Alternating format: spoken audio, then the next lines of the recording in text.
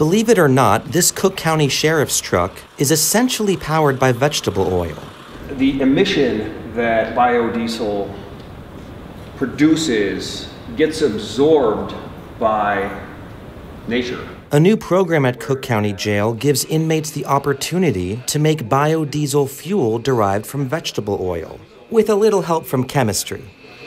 This is our biodiesel. This is our usable product. We could run any diesel engine on this product here. Corrections Officer Tony Lordo first explored the idea in January with a homemade kit.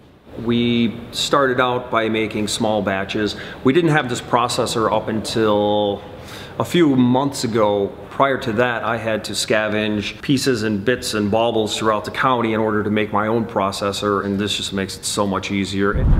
The program's first class is made up of three inmates, one man under probation, and another man in the jail's work alternative program. Okay.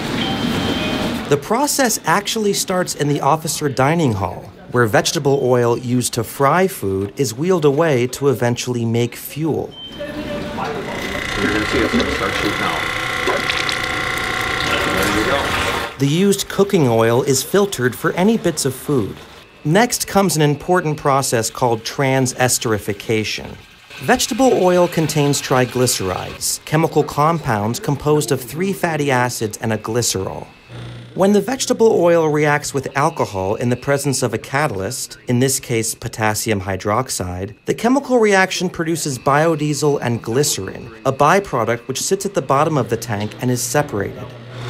Look how thick and dark that is. Officer Lordo plans to boost the group's environmental impact by eventually making fertilizer and hand soap from the glycerin. Say you need nine gallons of alcohol now because the strength is less, or No. you're adding. Inmate Harris Codius plans to put the education and experience to use. Uh, it's definitely you know better use of my time than what I'd usually be doing. You know, it's, it's awesome to learn something like this that I can use when I get out of here. I work in restaurants and uh, would like to get into doing a food truck business, so this is something that I could use in the future. The jail's biodiesel fuel program takes place in its mental health transition center. This is where detainees receive job training and therapy. Cook County Sheriff Tom Dart started the center five years ago. Before then, this site was actually a boot camp. I understand there's evil in this world, and that there's people in our custody who've done horrific things that are going down to prison for the rest of their lives. I get that. Um, there's the much larger group of people who are going to be here for a temporary period of time and are not going down to the prison system.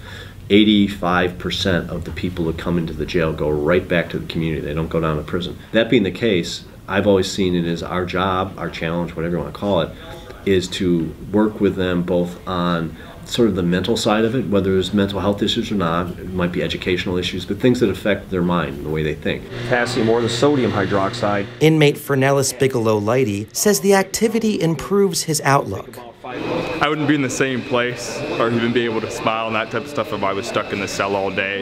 It, um, even coming out, it's just not the same thing. Being able to actually do this, learn about this, learn something new. That I think that's for me personally, that's the hardest thing is that there's no stimulation while we're locked up. TV, but I don't consider that stimulating. So um, this is really incredible. Once the biodiesel is bottled up, it's ready to go in the fuel tank. The sheriff's office estimates the program could save the jail up to $20,000 a year and plans to grow the operation. We have two vehicles currently that are running on it full time. We have two other vehicles that are going to be running on it shortly, and we're looking to expand this to, God willing, the fleet. For Chicago Tonight, I'm Evan Garcia.